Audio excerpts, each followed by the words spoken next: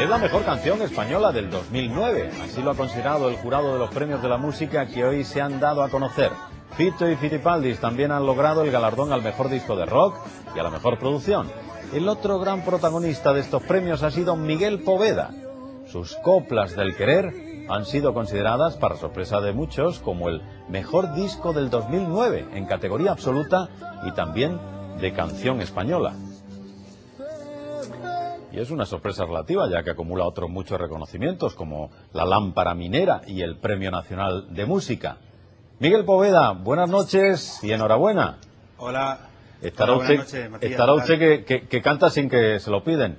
¿eh? ¿Cuál es su secreto? ¿Cómo ha logrado convencer al público con un disco situado a medio camino entre la copla y el flamenco?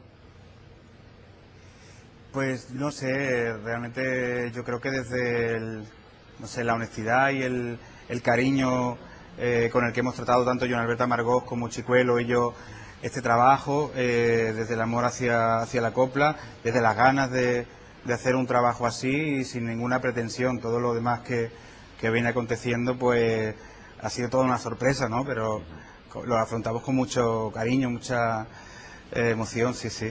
Usted se atreve con casi todos los palos e incluso ha interpretado hasta tangos y, boleros. ¿Hay sitio en la lista de éxitos para otros géneros distintos del pop y del rock?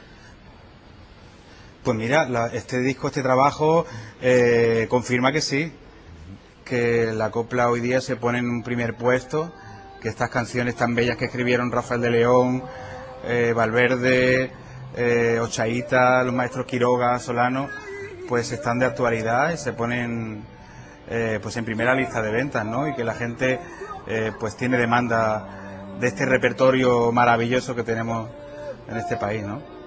Usted ha nacido en Badalona, que yo sepa, allí los Hondo no, no se lleva mucho, ¿no? No tiene ascendencia andaluza y sin embargo ha logrado convertirse en una referencia del flamenco actual. ¿Cómo comenzó? ¿Quién le inspiró?